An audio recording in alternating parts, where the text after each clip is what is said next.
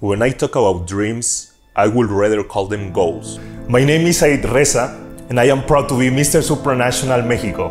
When I talk to myself and connect with my inner child, I feel joyful to let him know that I have turned all of our dreams into goals. I studied acting, and now I do what I am passionate about. I am an actor, TV host, and model. With these roles, I am able to transmit emotions and important messages in order to generate changes in other people. I like to help and inspire others to turn their dreams into goals through discipline, perseverance, and passion. I am a family man.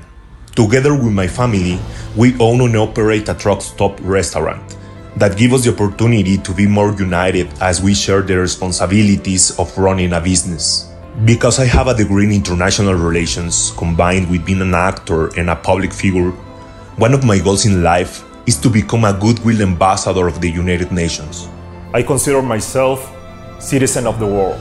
I believe that regardless of our differences in nationalities, there are more important things that unite us as human beings. In my free time, I like to read, write film scripts, watch a good movie, exercise, travel and learn about other cultures.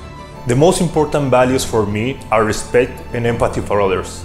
I believe that the right way to follow your goals is that way where you can help others to achieve their goals.